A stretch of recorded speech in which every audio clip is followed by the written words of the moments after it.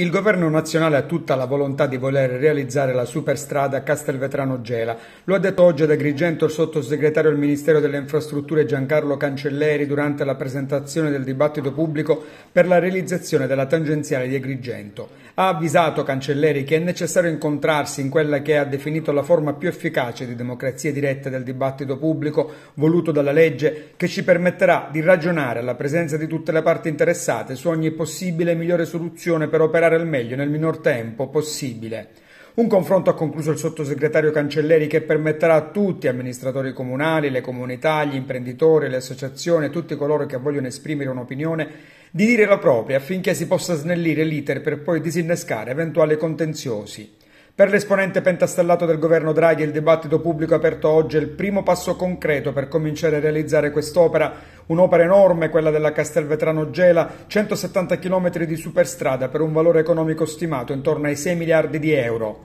un'arteria inserita nel più ampio itinerario Gela-Agrigento-Castelvetrano. Presente al dibattito iniziato oggi ad Agrigento tra gli altri Maria Rita Cocciufa, prefetto di Agrigento, Ettore Riccardo Foti, capo di gabinetto dell'assessorato regionale delle infrastrutture e della mobilità, Francesco Miccichè, sindaco di Agrigento, Raffaele Celia, responsabile ANAS e struttura territoriale Sicilia, Gildo La Barbera, coordinatore del dibattito pubblico ai vertici ANAS. Partiremo nella realizzazione delle infrastrutture dalle due estremità laterali della strada principale, la tangenziale di Gela da un lato e la Castelvetrano Sciacca dall'altro, per poi lavorare anche per la tangenziale di Agrigento. Su quest'ultima, aggiunto a Cancelleri in sinergia con la Regione, abbiamo completato il progetto di fattibilità tecnico-economico per un valore di circa 14 milioni il dibattito pubblico l'abbiamo fortemente voluto e ringrazio il coordinatore La Barbera e Anas perché hanno messo in piedi una grande opera di democrazia partecipata. L'obiettivo è chiudere questo dibattito pubblico, affermare quale sia la scelta migliore e partire con la progettazione definitiva. Non ci fermiamo, puntiamo a realizzare l'opera più velocemente possibile, ha concluso Cancelleri.